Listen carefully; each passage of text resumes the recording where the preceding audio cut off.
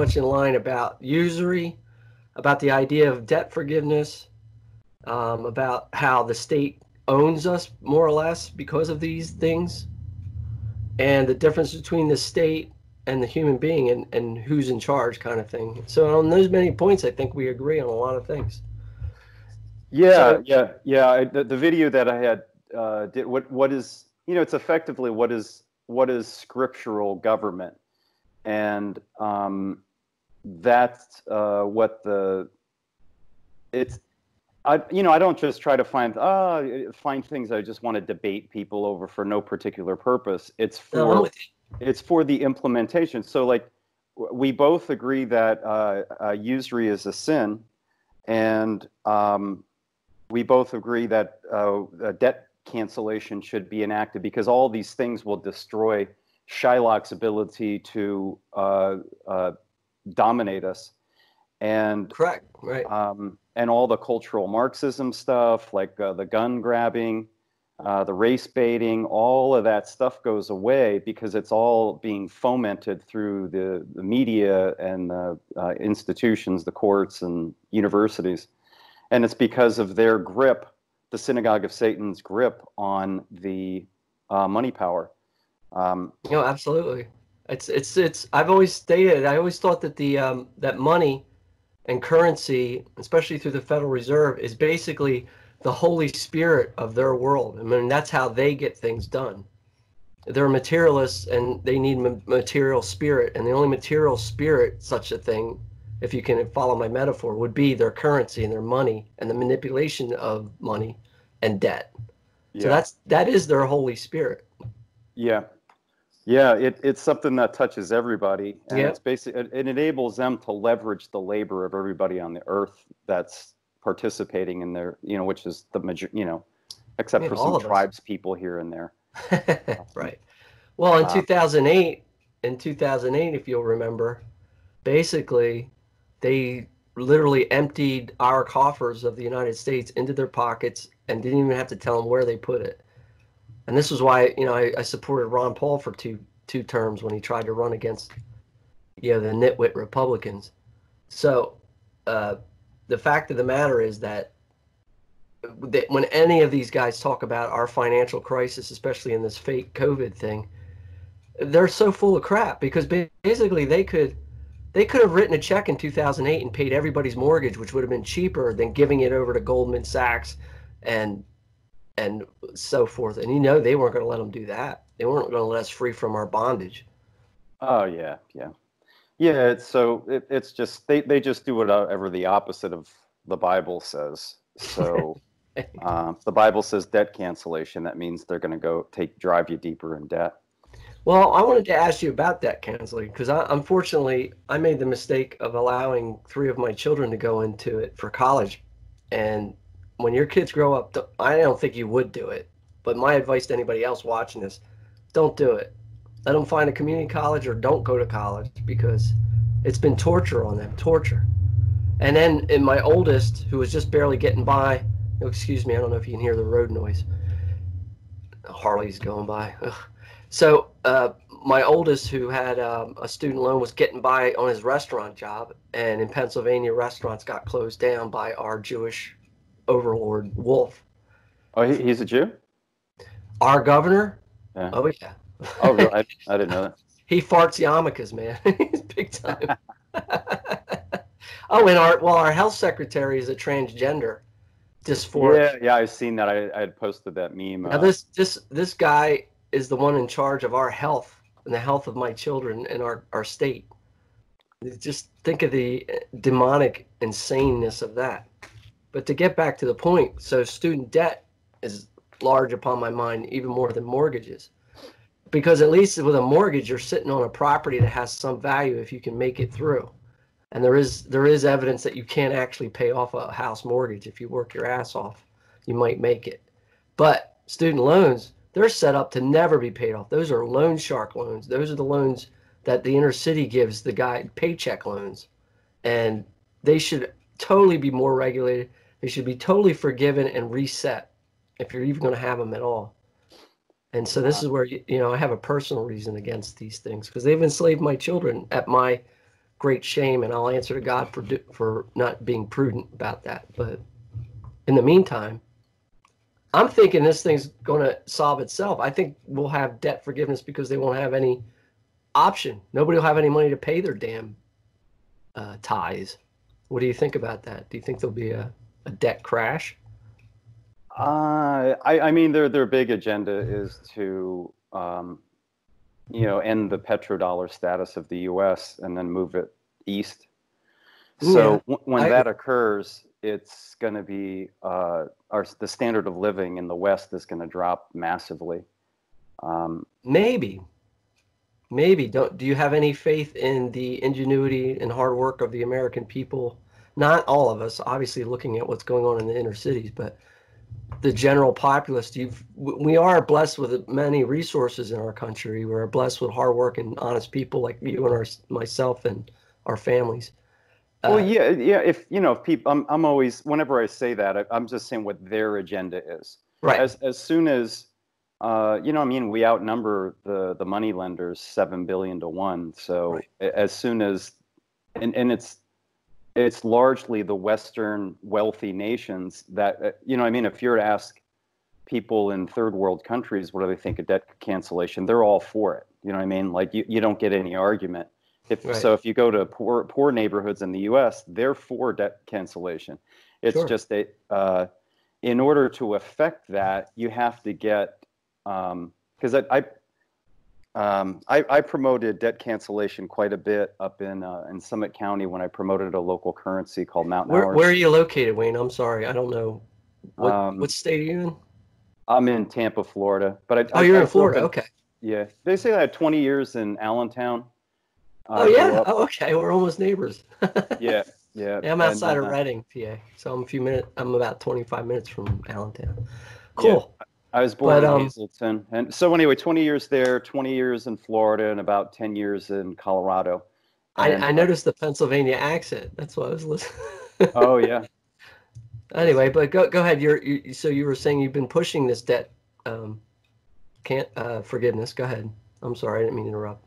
Yeah, I, I see. I didn't. Um, I wasn't a believer for the majority. I was just I was agnostic, mm-hmm. and um, basically with the 2008 bank bailout nonsense. Right. Um, I had money from Outrage. my pool business, so I investigated, um, you know, gold and silver, and I knew that they had confiscated gold during uh, 1933 with FDR and all that nonsense. So I wanted to to, and that's when I saw, uh, and I, you know, you could anybody could easily read this uh, with the Federal Reserve.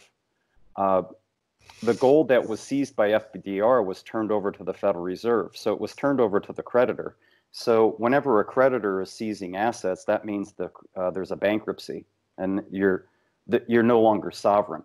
So I, I, I knew then that the gig was up. Like I knew that there uh, I have my degree is in history, and mm-hmm. that was something I never learned. And and basically, that's the case now. Is is that the United States isn't a sovereign nation. It's it's a uh, own subsidiary. Yeah, yeah, it's just it's, it's an yeah an own own own subsidiary of Zionist Inc. I guess I don't know who else to call it. right. So the, the, basically, because the, the, the money lenders are it's the synagogue of Satan. Um, they have their morality that they enforce because they control the money. He who he who pays the piper calls the tune, kind of stuff. Exactly. Exactly. Um, and then I got into 9/11, and yeah. um, I'm a former Marine, and and mm. that uh, that betrayal, knowing that these guys uh, deliberately take the well-intended uh, willingness of people in the military to serve. Like my, my whole family is uh, former Navy, and mm-hmm, um, mm-hmm.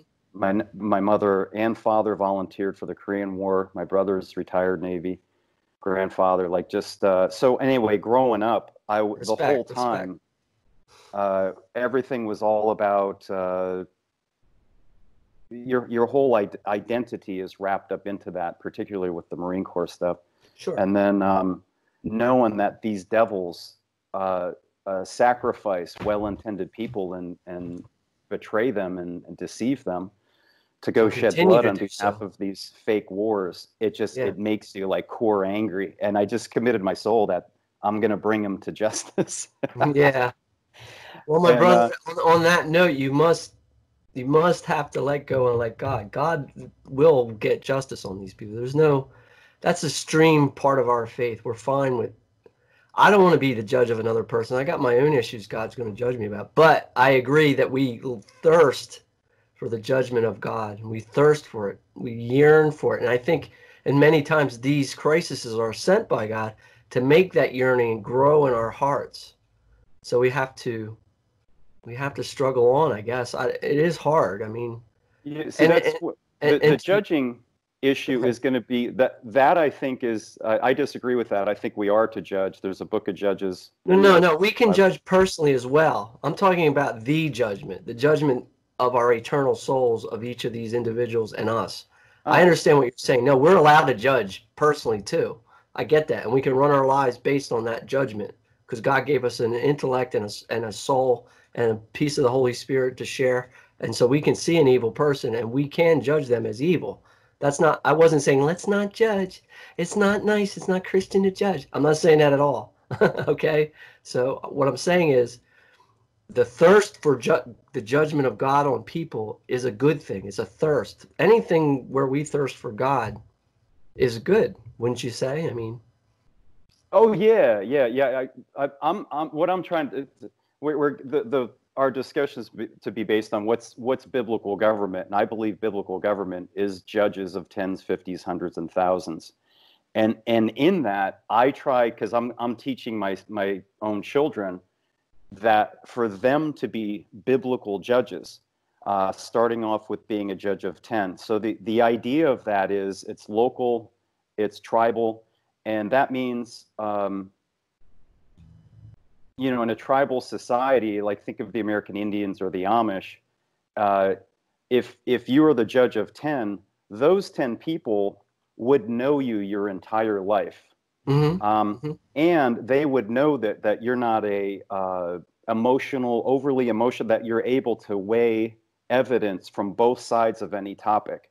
So so whenever something comes along like uh, like the covid thing mhm, um, we should be judging and and because i i'm i'm the guide for my family but i'm also the judge that i before i weigh in on that thing i want to investigate it because i want to make sure that i'm giving good guidance as a, a shepherd for people Right. that that follow me and um and in order to do that we have to okay you, you get the you know the government information and they have government statistics and then you have uh, the dissident statistics and the dissident science and then Mhm. you you weigh both sides of that to see which is more credible and who which you know obviously the government side is financed uh, by the synagogue of satan and therefore it's meant uh, for tyranny and um, so anyway it's it's e- easy in those instances but um, you know just imagine in uh, you know when society breaks down um, that uh, you'd have to judge and people would bring controversies to you with respect to a murder or Right. theft or like uh, here, here's like a, a for instance that I actually did this in my own uh, tribe my own circle of local Christians is um, we were watching a child and I, I, I have like a mini farm here and we had burned uh, leaves and um, I let it I let it simmer I don't put it out mhm, mhm. And um, that way it burns down to That's the fine. ground closer. So anyway, uh, a child that we're watching uh, accidentally put her hands into it, Mhm. and uh, she burned her hands and went to the hospital. And um, so I was negligent um, uh, because I didn't protect the child, and so the uh, uh, the Christians uh, they actually uh, sued me, and I. I used, I, I wrote them a letter citing biblical evidence that you're not supposed to bring a suit to a fellow Christian. No, you bring it. You bring it to them personally, and then you bring it to them with witness, and then you bring it to the through the church, and then yeah, Ex- I got ex- yeah. So, so anyway, scripturally, there, you, there's a, a, a specific process for what you're supposed to do. Right. And in the Old Testament, there is restitution. Um, Right. because if th- they did suffer an injury because they had they had insurance. In the New they had- Testament too, there's restitution. Just so you know, it's not just Old Testament. There's restitution in the New Testament too. They call Uh, it penance, but but penance. But go ahead. I'm sorry. but but anyway, like that's what we're going to get into is it's the same. It, it- I believe the New and the Old Testament, it's the same thing. They're talking about the same thing all the way through. Jesus didn't create a new religion. No, um, no, I don't think he created a new religion. So okay, well we can talk about that then. So well, you said there's no difference between the Old Testament and the New Testament. Now I w- I'm going to posit a hypothetical to you, and you tell me how they are different. Now, if you were to, uh, if an alien force was able to use, I don't know, I'm just going to create a science fiction theory just to explain what I, I want to say. So they somehow go through the earth and they eradicate the new they eradicate half the bible meaning the new testament. They eradicate it and they only left us with the old testament. Would we know the name of jesus christ born in bethlehem? And the answer is no obviously.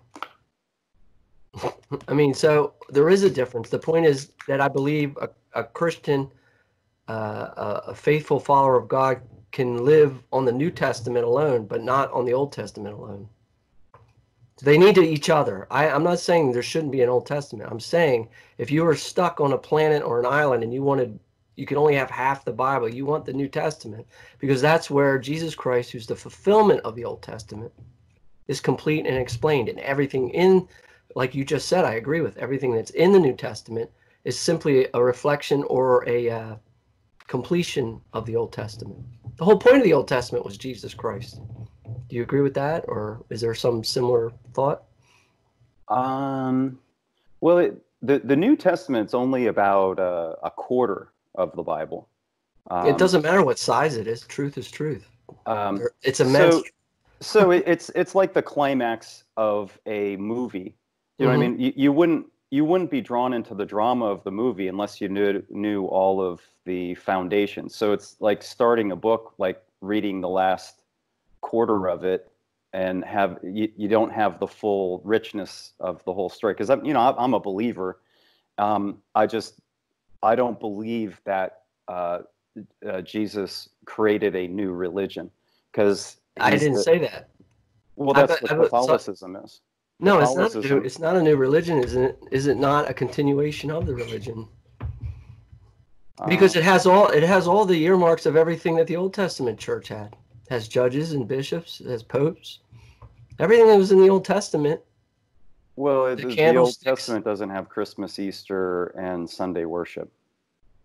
No, Uh, that, that's where you're getting into the parts of where the church has authority to make things happen. That is in the old. That is in the New Testament. But the the first thing we have to discuss then, if you're going to use the Bible against the The Catholic ch- Church, the church is humans. uh, the church is the mystical body of Christ according to Scripture. Uh, that's human The beings. head is Christ. The head is Christ, right? And its members are us, and we all have our roles to play. Isn't well, that that- that's it's humanism. So I, I think that's where That's, that- not that's where we're- humanism. How is that humanism if Christ is the head of the church?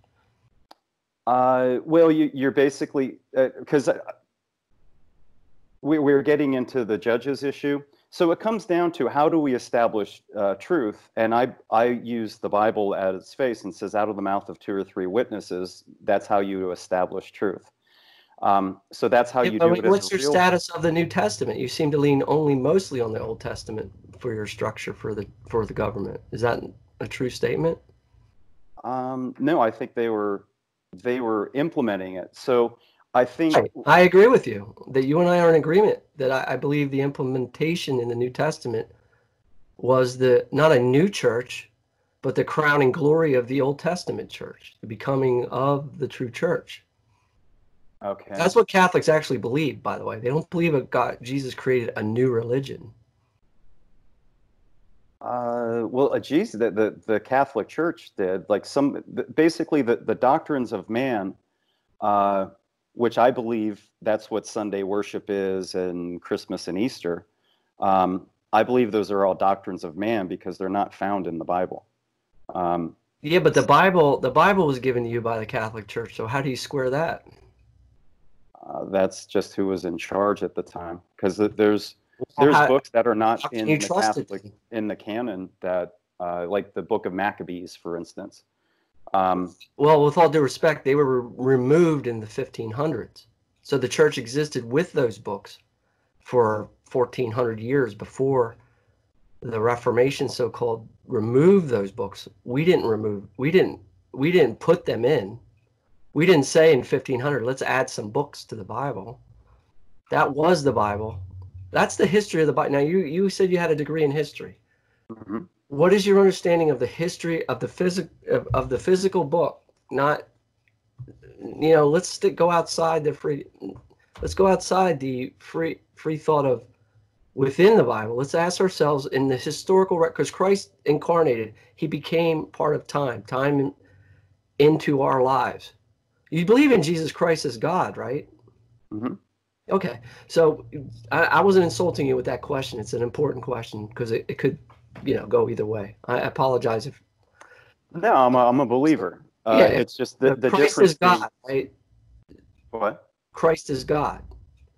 Is Father, Son, Holy Spirit. It's the the it's, same thing. Okay, so that's fair. So we're both on agreement. So in history, outside the Bible, there's a history that is trustworthy, and that says that Jesus lived in this age, uh, the apostles lived and died in this age, the church began to grow in this age, etc., etc. Do you accept that history as true? That there are ages? I, I Oh no, no, no, no. That there's a history for the church in history. Like we exist in history. We are not. We weren't landed by aliens and poof. And there's a church. There's an actual timeline that you can follow for our church. You agree with that? Uh, yeah. I just, I, I just believe that it was subverted earlier. Like that's fair. I knew we'd get there. That's fine. I totally, I get where you're going to say that subversion happened. Okay, that was the whole premise of Luther's uh, revelation or uh, revolution. I call. Um, that was his whole premise. So my problem is, with that theory is when did the church go wrong in timeline. You're a historian. You've said that. Apparently, you have a degree in history. You said. Mm-hmm. So, where in history did the church go wrong? What year? Uh, as soon as they started taking on the traditions of man. So Jesus and Mark. Circular, my brother. That's a circular argument. I need a date. Uh, I would say, like at at the minimum, I, I don't know. I, I guess you could say immediately. There's in in the Bible itself. They there's they had uh there's antichrists then. Okay. Um, there were so, there were already like Paul was rebuking people for you know from from straying from the faith. So like it was happening immediately. So it just uh, I think in, in order to make this a focused discussion, it's the the way I anticipated doing this like is that the focus of where we're at right now is that uh, we're completely being uh, destroyed by this system.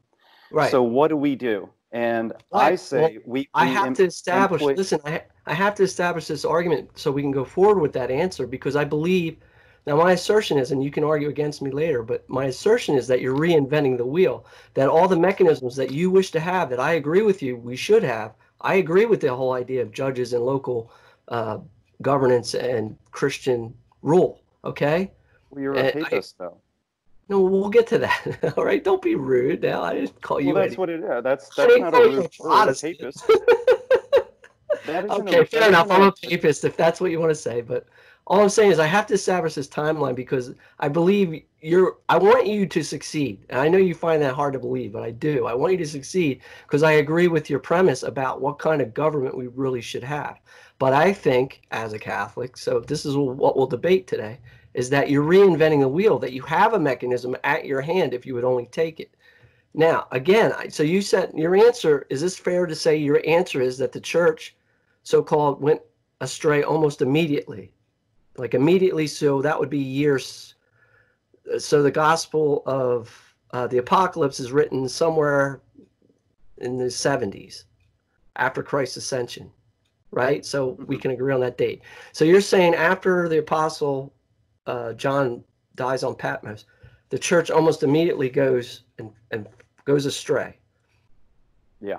Okay, your problem is that you want to use the scripture as your authority, and it your canon, which is the canon is the um, what is the canon is the uh, basically okay. I'm sorry.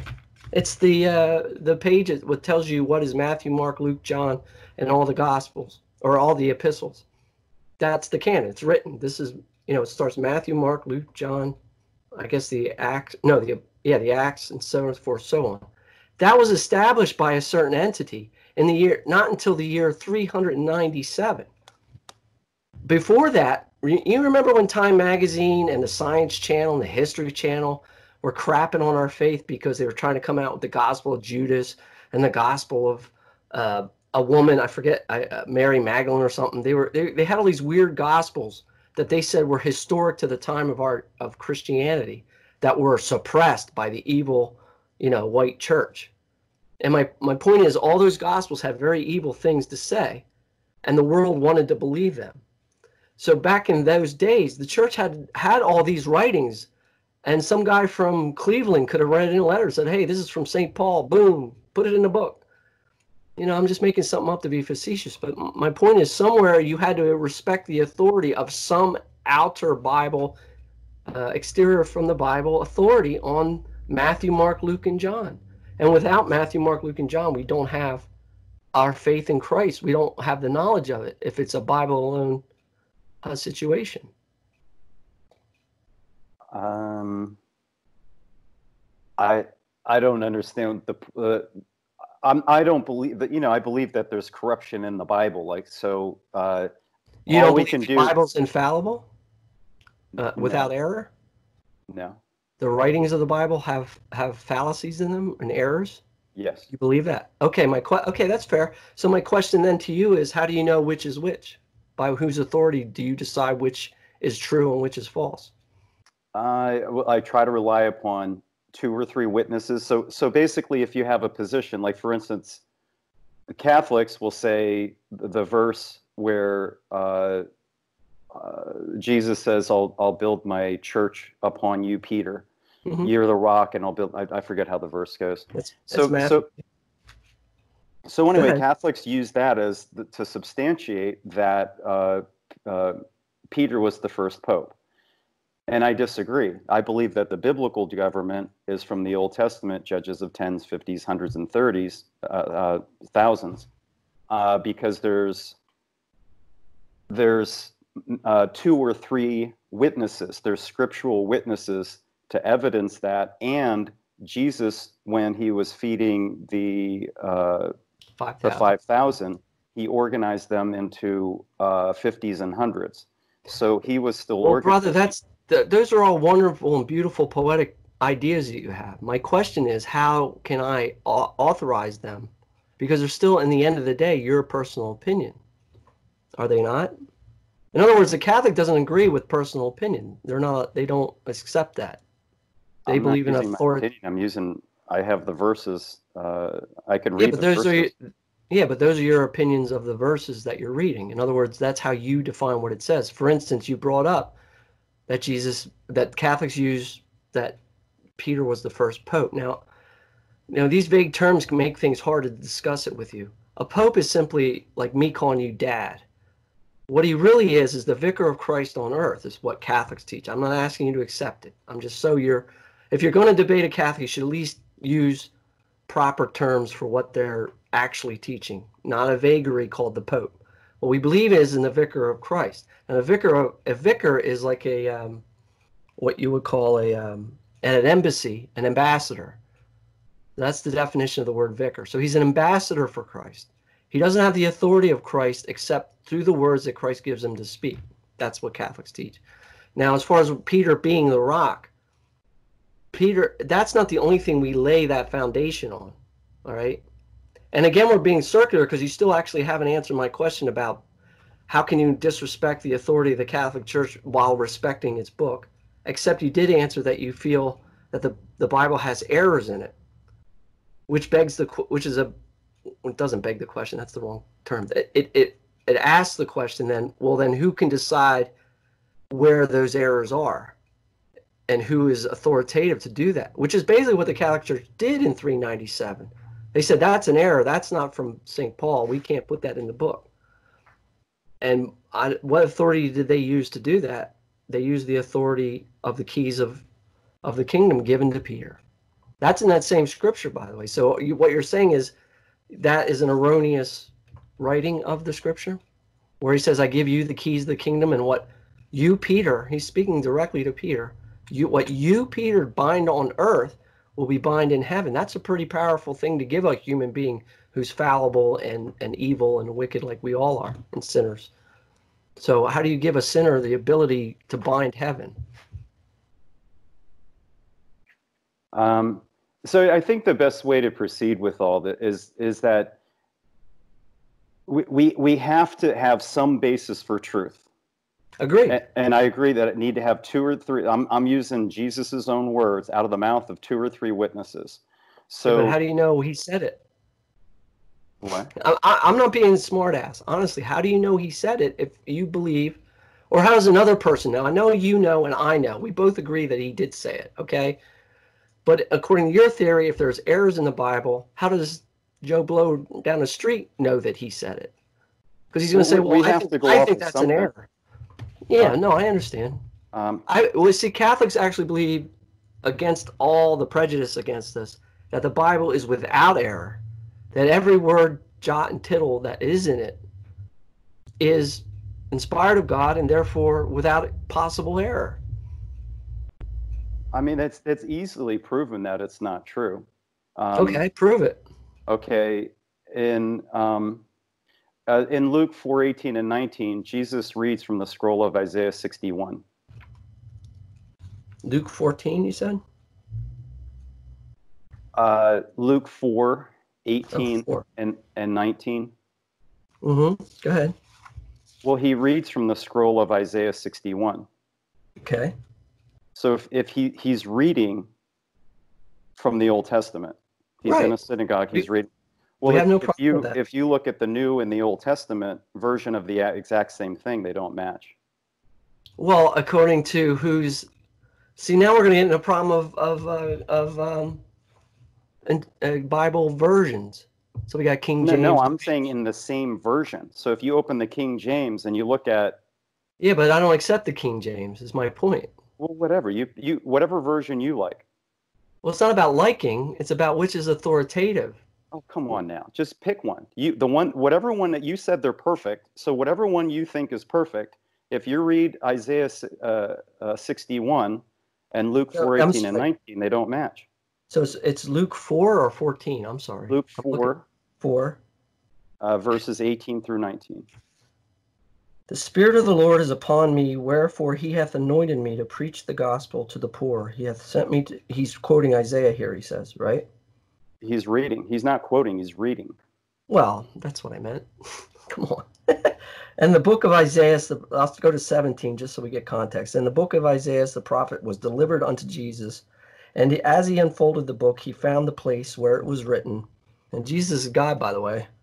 The Spirit of the Lord is upon me, wherefore he hath anointed me to preach the gospel to the poor. He hath sent me to heal the contrite of heart, to preach deliverance to the captives, the sight to the blind, to set at liberty them that are bruised, to preach the acceptable year of the Lord and the day of the reward. And when he had folded the book, he restored it to the minister and sat down. And all the eyes in the synagogues were fixed upon him. And he began to say this to them This day, this scripture is fulfilled in your ears. Okay. And you're saying what he quoted was erroneous? God? If you go now to the Old Testament in You'll have to do Isaiah it 6, for me because I only brought a New Testament in with me. Sorry, you'll have to go to the old. So, uh, it, what are you saying? Is it it's a mistranslation? It's not. It's not what. well, in says? one they say gospel, and one they say good news. In the Old Testament, they say good news. gospel is Greek for good news. What's the difference? There's no difference. Well, it, how can they? If it's the exact same thing, it should be the exact same thing. If he's reading the Old Testament, my, my point is is that if they're if they're different, they can't both be perfect. If it's uh, absolutely erroneous. Yeah, but the letter killeth, the spirit gives life. The idea is that the, the, the truth is sent a, sent true. And how do you know that the translation he wasn't handed by that synagogue didn't have have gospel? Well, it wouldn't have gospel because that's an English word. First off, it's an English translation of a Greek word. Right. This all goes back to the history of the Bible. You you my position is if you find there's errors in the Bible, then you ha can't have it. You might as well just throw it out. You can't pick and choose because then you're deciding as a human being with error and sin in your own heart, unless do you feel you're without sin and infallible? Of course not. Of course not. I wasn't being sarcastic. It's an important question to make my point. I apologize. Don't be offended. Because I know that's not true about me for sure, and any human being, right? So if that's the case, then you're using your own understanding to define scripture as this is good because my brother-in-law has the same opinion by the way so we've had this discussion he believes this part oh yeah that's true oh no but this part isn't true he doesn't believe jesus is god by the way because he says nowhere does uh, jesus actually call himself god. Mm-hmm. so it's, it's like and there's no trinity in the in the bible. Not as not as it's taught that we understand it that jesus is god and god is jesus and jesus is the holy spirit and the holy spirit is jesus. Uh, so anyway, my point is that if they differ then um, i'm saying they don't differ but you're saying they do simply because of the english word gospel was used and not good news well if they differ then they're different so if they're if they differ um, there's an issue there um, do they do they differ in the original translation, the Vulgate? I have no idea. Well, you should know. If you love the Bible, you should know the Vulgate. So anyway, let's let's be productive with this because we are being productive. I love you, brother. This is there's nothing wrong with what we're doing. I I told yes, you I do so not what, want to. Happens, and I this is what annoys me with with people end up debating for the point of debating and no, that's not accomplished. Sir you have people that are dying all over the planet while while we debate over nuance that they plainly are not the same. You can open any version of the Bible that I've looked at, and um, you know maybe there's some that are the same, but in the, the the dominant versions they list it as different. And the reason why it's important is the gospel is in the Old Testament. The gospel isn't a New Testament thing. So the the, the good news, you mean, which is what it means. Good news. That's all it means. Right. So people say well, the gospel of uh, the gospel of John or the, the gospel, have you read? They, they think it's only a New Testament thing, and it is not. The gospel's from the Old Testament. When in fact Jesus, when he quoted the gospel, he is reading from the Old Testament. He's reading. that's all they had. There was no New Testament Bible while Jesus was around. I agree. But but you know, I have to I have to give you pushback on the idea that I'm just want to debate for the sake of debating. It's not the case. I believe your I believe what your agenda is good. I just think you're reinventing the wheel, and it's like someone saying, "I gotta." I got to run away from this burning building. I wish I had a way to do it. I'm trying to say, well, there's a horse there. Oh no, I don't believe in horses. Okay, so the, so the Pope that, is the, the, vicar of how many people? How many, he's the head of a body of how many people? I don't know. How am I? Well, how many? There's Catholics say there's a billion Catholics on Earth. It's irrelevant. If there's two of us, there's still the church. It doesn't matter. If it's okay. you and me, brother, that's All the right. church. So I I don't I just a numbers game. It's not a democracy. It's a monarchy. That was my next question. Well, it's a centralized power, and I don't believe the Bible because why don't we i think the best way to proceed with this is why don't you give all the evidence that you have that the government that the bible is supporting is a vicar of a centralized power and the bishops and all that sort of thing. And I'll give my scriptural evidence of why I believe it's judges of tens. And the highest number is there for a thousand. So the Pope, I don't believe, has any authority, nor does anybody else, to have uh, anybody on the whole earth has the authority to, to be a judge of any number over higher than a thousand. Yeah, but so, you're stuck because you've you've accepted the authority of that same vicar not the individual person, the office. You've accepted the the, the ruling of that vicar from 397 by using the New Testament.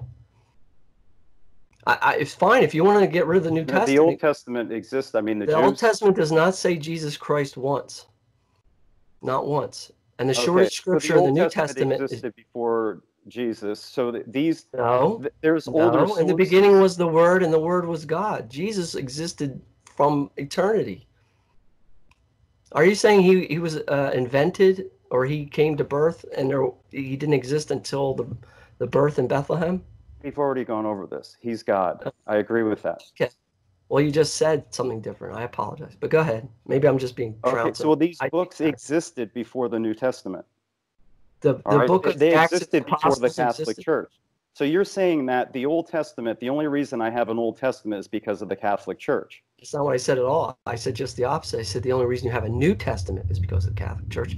I understand that the the new the uh, Christ quoted from it, and so did all the apostles. Obviously, Okay. it ex- pre-existed Christ's incarnation on earth. I so a- again, this this isn't this isn't productive. What I like to do is is if there's people that have jobs, like what do we do? My family's suffering. Okay, We're being overrun by communists. this is what, what, do we we do? And Well, you're saying, do- oh, we- we wait for the Pope? We wait for all the bishops that have rolled up and shut down? No, What do we do? I'll- I have an answer. Would you like Okay, to hear? it? what is it? going to keep yelling at me. Oh, well, you're just you're, you're being annoying because you're just nitpicking everything I want to say. So I'll be silent, and you give all of your support for what you think the I'm- biblical church is.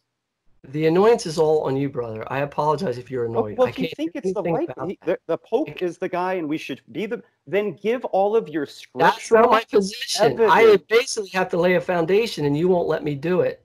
Yes, I'll, So you I'll can- be silent. I'm, let's I'm do not this. asking you to I'll give silent. you ten minutes. You give me ten minutes. I'll be silent for ten minutes. Go. Listen, I'm talking about a government that is a Christian government. And we have historical records of Christian governments that actually did a lot better than this Freemasonic Jewish owned republic. And they had a single head. Now, the government of the Bible, according to the Apocalypse, is a single headed government with Christ as king and all of us as his body and his members. That's all the evidence I need. That proves that God's structure is a single-headed thing. Secondly, I have all, all this all the thing here.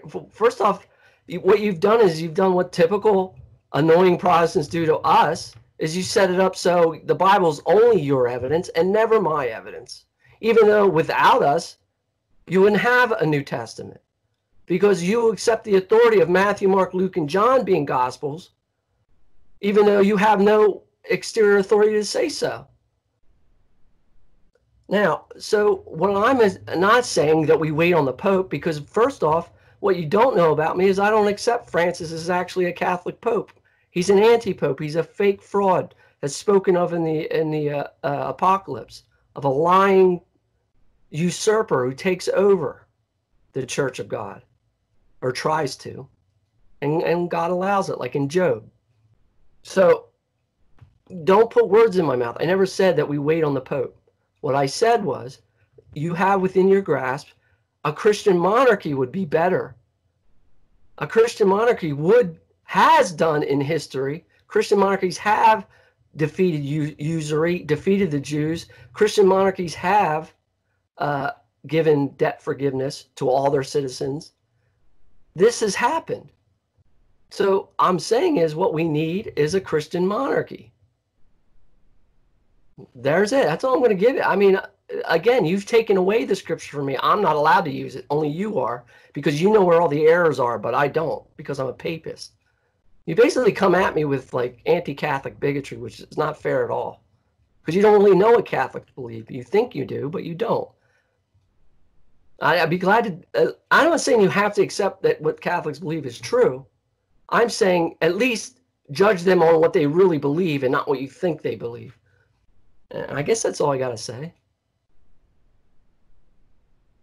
You're you're making the point that I'm taking the script. I'm just use all the scripture that you want to support your position. I, I haven't heard you cite any scripture, so go ahead and do that, please.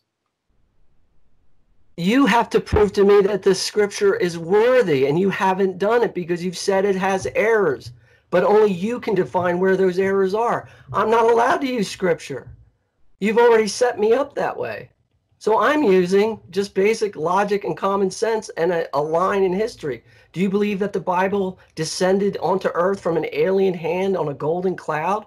or did it actually exist uh, in time and space where it was written down and given authorization by a certain body and sent forth into the world and printed and given out. You use the scripture, and first off, you really actually wouldn't even have the Old Testament in your hand were it not for the Catholic Church. It existed, sure, but it what the Jews weren't showing it to everybody. Gentiles weren't even allowed to think about looking at it.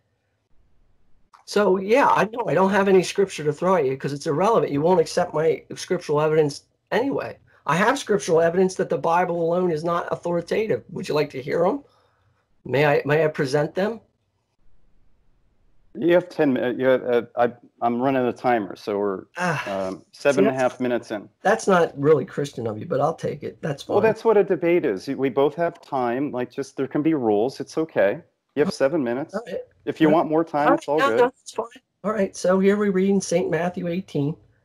But if thy brother shall, and this is what we discussed earlier, but if thy brother shall offend against thee, go and rebuke him between thee and him alone.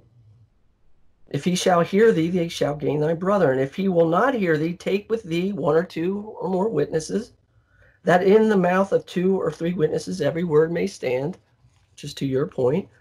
And if he will not hear them, tell the church. And if he will not hear the church, Uh, assuming this is the final authority, let him be to thee as a heathen and a publican.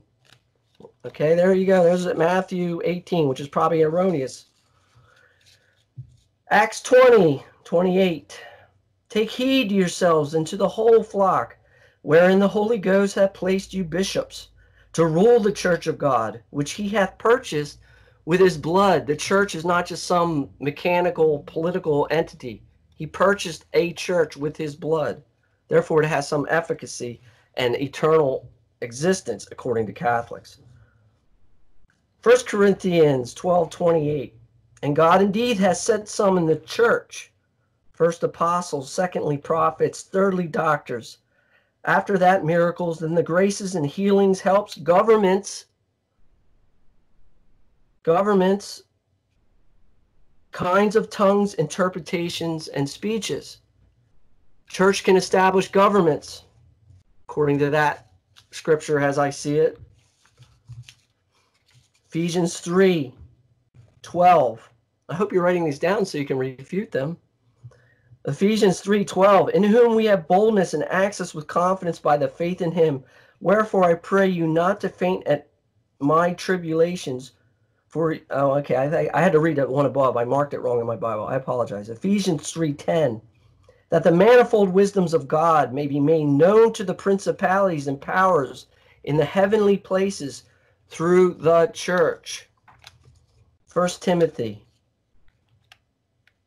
First Timothy 3:15 which is the one you probably know them best but if I tarry long that thou may knowest how they oughtest to behave themselves in the house of God which is the church of the living God, the pillar and the ground of truth.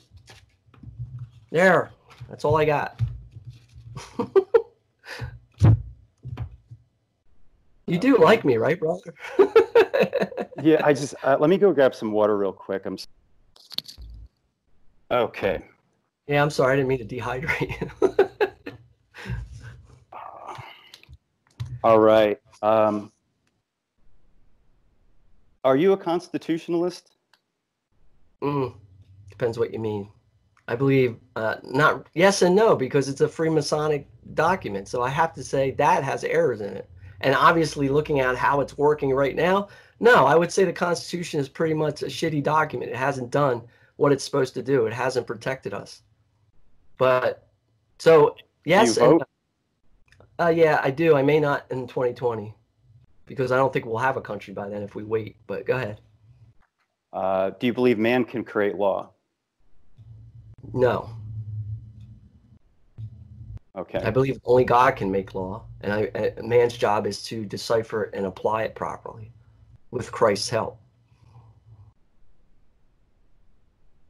Yeah, that's that's where I'm at. Is uh, I don't believe man can create law. I agree. So we're um, I believe the Constitution is uh, was was written by the Synagogue of Satan effectively. Freemasonry is just Talmudism for Agreed. the boy. There's And- no bigger enemy of Freemasonry on the planet than the previous Catholic Church to 1965. But go ahead.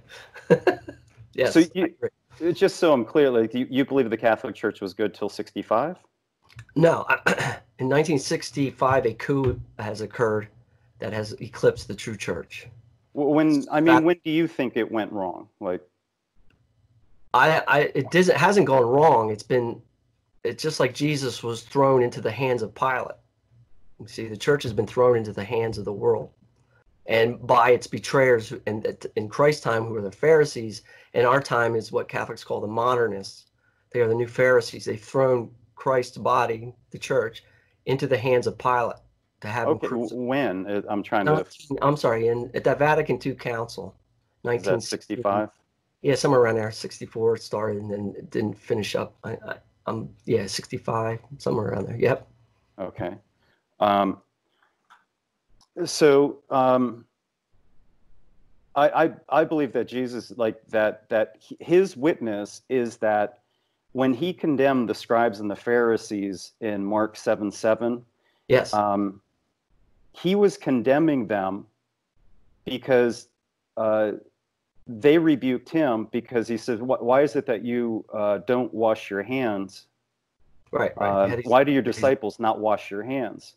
And he Right. says, uh, um, Isaiah spoke of you when, and he quoted Isaiah, um, you worship me with your lips, but your hearts are far away from me because you take the, the doctrines and the traditions of oh, man man. Right. and they use that to replace the commands of God. Correct. And you do many things like basically he's saying is you're using the tradition Talmudism to replace the old the Torah.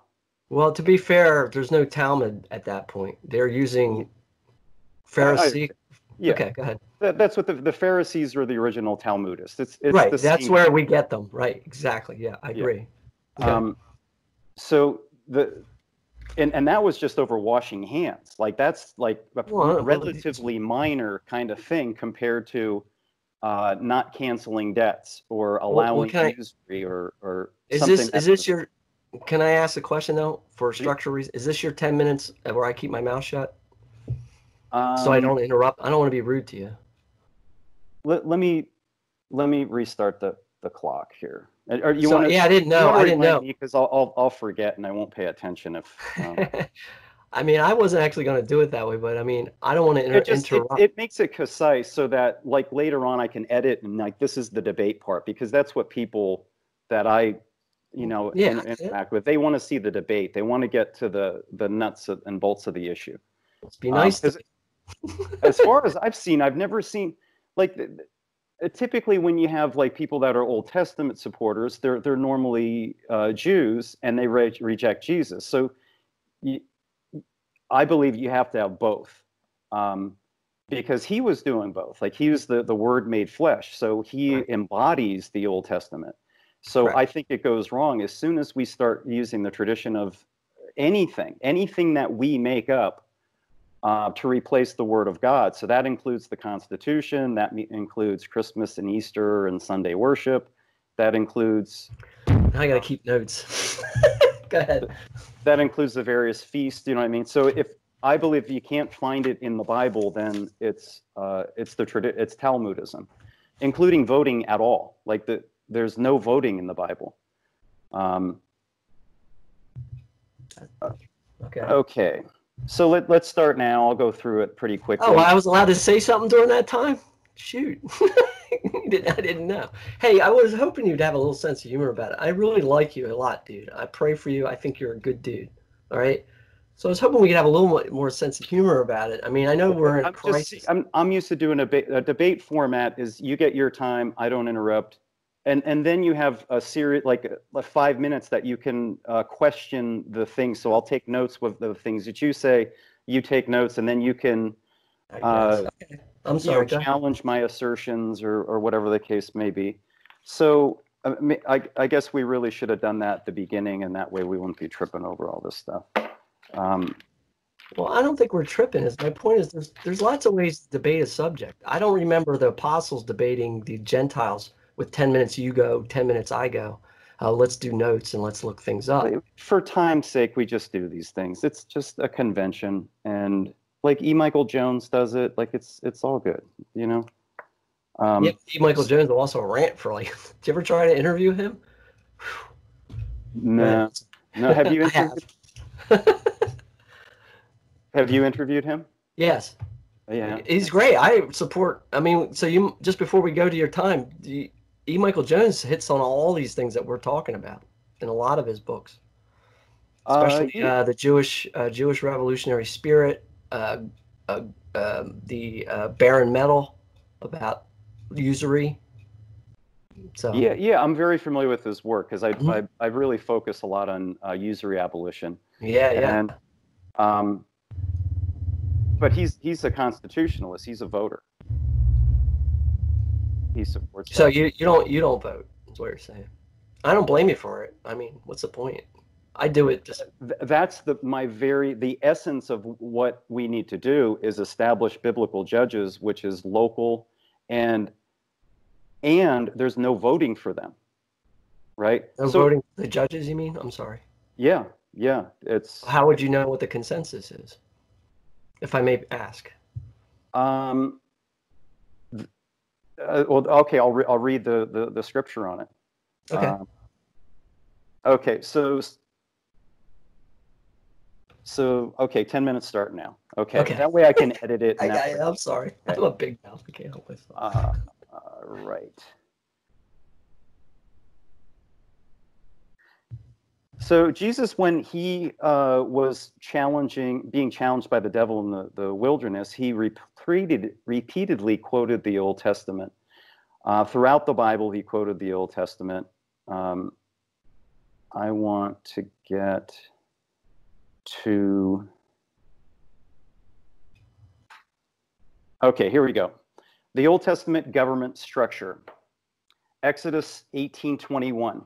So what was happening is uh, Moses. This was after they had left uh, Pharaoh, and uh, Moses was in charge, and everybody was bringing controversies to him, and it was taking all of his time. So his father-in-law Jethro came to him and said, "This it's not right what you're doing. You're going to waste all your time and energy. Just are you reading? Are you reading scripture, or are you paraphrasing right there? I'm I'm setting up. Okay. Okay. So Exodus 18:21. More moreover, Thou shalt provide out of all the people able men, such as fear God, men of truth, hating covetousness, and place such over them to be rulers of thousands, rulers of hundreds, rulers of fifties, and rulers of tens. Okay, so that's one witness. Next witness, 18, uh, Exodus 18, 25 through 26. So Moses chose capable men from all of Israel and made them heads over the people as leaders of thousands, hundreds, fifties, and tens. And they judged the people at all times that they would bring difficult cases to Moses, but at any any minor issue they would judge themselves. Okay, two witnesses. Uh, next witness, Deuteronomy 1:15. So I took the leaders of your tribes, wise men, respected men, and appointed them as leaders over you as commanders of thousands, hundreds, fifties, and tens, as officers for your tribes. Uh, Deuteronomy 16, 18. You are to appoint judges and officials for your tribes and every town the Lord your God is giving you. They are to judge the people with righteous judgment. So we are to judge. Um, we are to judge and use the Bible as our civil law. Um, if we were, the, um, this is me paraphrasing now. So if if we were to be, uh, you know, castaways on an island somewhere, or if you think of the first uh, pilgrims to the New World, um, should they be making up their own law, or should they use be using the biblical form of government? And at that time, they were using the Bible largely, and I'm not saying that they didn't make mistakes and that sort of thing, but generally, uh, the first Europeans to come to the New World were, were using the Bible as their civil law, not just as the King James version. Uh, yeah, I'm, I'm not. I'm, I'm taking your word at that. I, I don't know which version. I, I heard the Geneva from some people or whatever. So okay, fair enough. Um, um, so another witness toward that they they applied and they implemented 2 Samuel 18:1. Then David reviewed his troops and appointed over them commanders of hundreds and thousands. All right, then you go on to uh, prior to David, they had the book of Judges. And basically, what, uh, what Yah, when he married Israel at uh, Pentecost in the Old Testament, this excuse is excuse me, excuse me, Yah, Yahweh. Yah, Yahweh. Oh, that's your name for God. I'm sorry. Go ahead. Um, I didn't. I didn't get it. Sorry. Apologize. so Yahweh uh, married his bride Israel at Pentecost, and this was a group of people who were uh, formerly Egyptian. So their whole lives, all they ever knew was Egypt. Their identity was Egyptian. Their entertainment was Egyptian. Their law was Egyptian. So all of the, the everything that they're familiar with was Egyptian. In the same manner that we today think we're Americans, and I don't think we're Americans. I believe that we are the Israelites. And as uh, Jesus says, "I have not come for the lost, except for the lost sheep of the house of Israel." He's looking for our shepherd, our king, our creator. He's looking to regather his people, his bride, to marry again so that they obey him in the same way the Israelites obeyed only God. They no longer tithed to Pharaoh, they no longer used Pharaoh's money, they no longer paid Pharaoh's debts, they no longer rendered. They, they, they had nothing at all whatsoever to do with Pharaoh. Not that, that they didn't lament and uh, there were hardships, so they lamented how easy it was, in the same way that uh, Americans will lament, you know, many of the conveniences of Babylon as they move closer and closer to God. Um, they'll lament the conveniences in the same way that the Amish gave up a lot of the convenience, but they weren't seduced by all the modern conveniences, and these conveniences have been used to enslave us. Yes. Uh, and make us dependent. They so, can and did. Yes. Yeah. So uh, moving forward, and this is um, uh, Samuel was the last judge, and the reason that the, the the judge system was ended was the Israelites demanded a king, and the Israelites were wrong, and and God told them that they were wrong to want a king because they were rejecting Him they were re- rejecting God by demanding an earthly king. And I believe that uh, effectively that's what the role of a pope is, is an earthly king. Um, that be- you end up having a centralized power structure as opposed to this system where it's decentralized. So in 1 Samuel 8, uh, the scripture explains how God warned the Israelites this is what's going to happen to you when you get an earthly king you're going to have tyranny because the king is going to you know take your people and centralize power. He's going to take your daughters. He's going to uh, take your men. So i'm setting up before i read the scripture um, because it's a it was a warning to not have a centralized authority to, to have to not have an earthly king. Um, okay the warning concerning the king.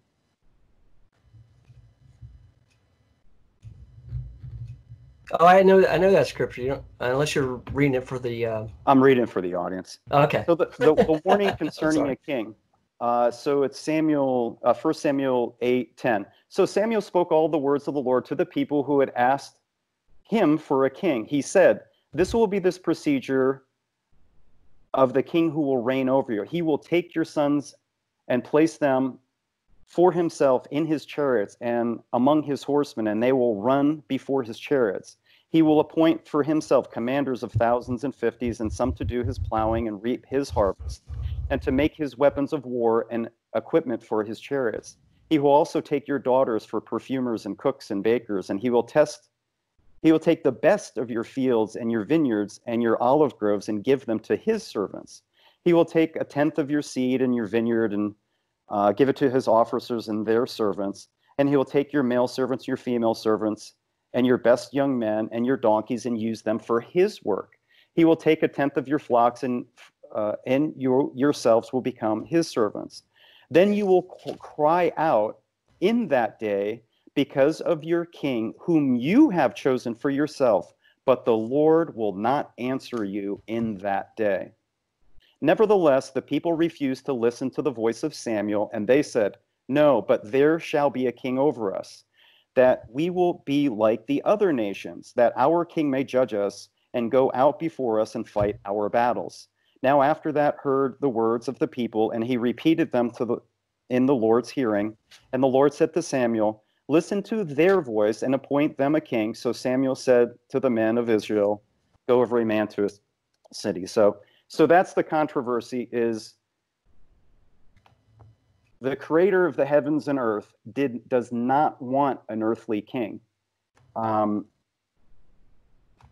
and that's why i believe the, the decentralized form of government that's advocated in the book of judges is the scriptural government and going in then into the new testament to say that this just is an, an old testament this is uh, something that jesus did um, so jesus organized his followers into uh, groups of 50. So it's Mark 6 39 uh, and 40. Uh, Jesus directed them to have the people sit down in groups of in the green grass. So they sat down in groups of hundreds and fifties. Uh, a second witness to establish truth, Luke 9 14. For there were about 5,000 men, and he said to his disciples, Make them sit down in, by fifties in a company. Um, my 10 minutes is up but uh, go ahead. Got a, a, couple seconds. is ahead. that Jesus is the perfect example. So the the verses that that I have is that we're supposed to copy Jesus. And what did Jesus do? Jesus obeyed the Old Testament in order to be sinless. He uh, observed Passover. Um, he observed uh, all of the feasts of the Lord. And uh, so Matthew 16, 24, um, then Jesus said to his disciples, If anybody wishes to come after me, he must de- deny himself and take up his cross and follow me. So I'm Correct. using this to support my position that he's the perfect example. And if he observed Passover and if he observed uh, formations of uh, judges of 50s, hundreds, and thousands, then that's what we should be doing. So Matthew 20, uh, 25 to 28, Jesus called to himself and said, um, uh, saying that that's not a good example. Okay, first, uh, this is uh, Paul, 1 Corinthians uh, 11 1. Be imitators of me just as I am of Christ.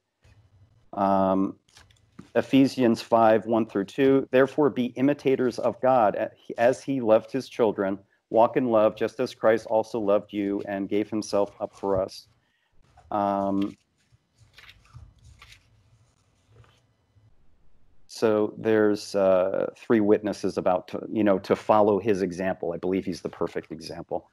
So, um, all right, you're up. Well, there's no Catholic on the planet who would deny that Jesus is our perfect example. In fact, we use Jesus as our example that created this church because it was his church to create. It's what he created at that passage that's so misused when he said, Peter, thou art the rock, and I will build my church. He didn't say, I will build a church, I will build various churches, I will restore the church as it was known under David. He says, I will build my church, a perfect church, because it would be his body, his mystical body. That would be my answer to that. Now, what is the format now? Am I supposed to talk for 10 minutes or can we go back and forth? Uh, so it was kind of like um, if there's something, so I'm saying that we should form biblical judges all right, and and follow. Right. Well, so I mean, I took notes during your ten minutes, so I'm going to address each of those. But you said a lot, so uh, this is what what Catholics call the Protestant two-step. You throw so many things out there that it takes me eight days to respond, whereas you get to throw these little things out, and it's all good. It's called all right, it will take ten minutes if you want. It's fine. all right. I'm just saying. No, I can't. Not enough time. All right. Anyway. First I, I off, really I've already, I've already. I'm basically listen, saying the biblical government is. I get it. I get it. So let you're not doing my time now, sir. Excuse me. Okay. Ding ding. so I've already established earlier that sola scriptura, according to the Bible, is not true, but you continue to refer to it. So you've already rejected my biblical evidence against your biblical evidence, which is proof of my previous theory that you guys make up your own ideas of what the Bible means. We do not. We believe what the church tells us the Bible means. So sola scriptura, I already answered with scripture, but you continue to refer to it in your entire 10 minutes, which is fine. Now, with Christmas, you keep bringing up Christmas along with the hand washing thing. Now, Jesus said to Peter, as according this is what Catholics believe, what you establish on earth shall be established in heaven. What you bind on earth shall be bound in heaven. That's a strong power to give to a, a sinful human being. I'm not saying he wasn't sinful. I'm saying God has a way of using sinful men. So my point is that Christmas and those holidays were done for the greater glory of God to spread the gospel, which is the only mission of the church to spread the gospel, not set up secular governments or fight uh, usury or uh, to fight injustice in the world. The world is short. The world will die. The world will go into a ball of fire. We this is a short. We are but sojourners here on the earth. So the only purpose of the church was to spread his gospel to the four corners. Obviously, there's not four corners on the earth. Tell to a flat earth person. But to spread the word, the entire globe of the good news, the gospel of Jesus Christ and his salvation for our souls, because we are purchased at a price, right? So Christmas and all those things were done to establish the gospel around the world. It wasn't established to get people to wrap presents and make Christmas trees. That's just something that people did. Now you, you oppose it. I guess it's like a Jack Chick comic book. That's all they have. They like to go against Christmas for some reason. And it's it's not an evil violation of anything. It was done on purpose to bring the pagans into the church to hear the gospel, the story of Christ's birth. And the calendar that you're using today, this is what, 6 6? Is was established by the church. So to put a holiday on a calendar is in the church's authority according to Jesus Christ. Now, the form of government in Exodus that you bring up, this was before Christ. I, I read I read it the scripture before earlier that the church can establish government. So obviously it was not you don't want a king in the Old Testament church because those kings don't have Christ in their heart. They don't have the power of the Holy Spirit. Because the Holy Spirit hasn't come yet. Or did you believe the Holy Spirit existed all through? I mean, in the sense that it's known of in the um, New Testament, that the Holy I will send the Holy Spirit. So uh, also, basically, by establishing everything Old Testament, you're doing what Peter did, that Paul had to go and condemn him for, called Judaizing. He says, you know, you won't sit with the, the Gentiles because you're going back to the former ways. So that's called Judaizing. Um, according to the Catholic faith, you don't have to believe it. Humans don't choose the vicar of Christ. We don't use that as our standard. The Holy Spirit's called upon a conclave of cardinals, and they decide after much prayer, uh, unless you don't believe in the power of prayer, that they will be shown the proper bishop to establish as the vicar. And again, you don't have to believe that, but that's what we believe. We don't believe humans do it. We believe the Holy Spirit establishes a name. Obviously, since he's a sinner, it doesn't mean he'll, he'll rule properly. Uh, Israel as you define it, is not Old Israel's church. Israel is the church. Jesus Christ is the Israel. We are the Israel of God. We are why he came to establish us. To say that Israel of the former ways before Christ is the same Israel as today is a it's terrible heresy. It goes against the blood of Christ, whose church he purchased with his blood on on, on the cross. So it's basically saying, yeah, that was a good thing, but you really need to have to do it because we already had a church. We just need to reinvigorate it. Um, Pope is not an earthly king. He's not a secular king. His only job is to make sure that the gospels make it to the four corners of the earth. That's it. His job is not to run governments. He can tell a government, and in fact, I would I would assert to you the reason we have such madness in our globe today is because the church stopped asserting its moral authority over secular governments in the 60s and you can actually do a timeline from the 60s on. How did it look in America? How did things go in the world starting in 1960? Things went to hell in a handbasket fast. So in Romans 13, 1, 9, I know this much abused, very much abused thing to make us servile to the state by certain Protestants. But Romans 13 does establish the idea of a king as an allowable form of government. it says, Let every soul be subject to the higher powers. For there is no power but from God, and those that are ordained of God Therefore, which would be the church according to Catholics. Therefore, he who resisteth the power resisteth the ordinance of God, and they that resist purchase to themselves damnation. That's strong words. For princes, now these are secular princes, for princes are not a terror to the good work, but to the evil. And the context would be he'd have to be a Christian prince. Obviously, a communist prince couldn't be uh, a, a good for the world. Will, wilt thou wilt thou then not be afraid of the power? Do that which is good, and thou shalt have praise from the same. For he is God's minister to thee for good. But if thou do that which is evil, fear, for he beareth not the sword in vain. He's given the power to enact secular justice on people. For he is God's minister, an avenger to execute wrath upon him that doeth evil. Wherefore he sub, be subject of necessity, not only for wrath, but also for conscience sake. For therefore also you pay tribute, for they are the ministers of God, serving unto this purpose. Render therefore to all men their dues, tribute to whom tribute is due, custom, custom to whom custom is due, fear to whom fear is due, and honor to whom honor is due. And one final thing, I actually I didn't take the minute to Google it, but you can. The, Paul asserts us to listen to his teaching, whether by tradition, word, or written. So there is such a thing as good traditions from God. And it, you would have to look at the Ark of the Covenant and what was placed inside as symbols of the traditions that God creates. So I think in the end of the day, you are describing what we need is a moral authority in the world, and that would be the Catholic Church if it was not right now in the hands of Pilate. And there you go. I don't know if that's 10 minutes or not, but I don't care.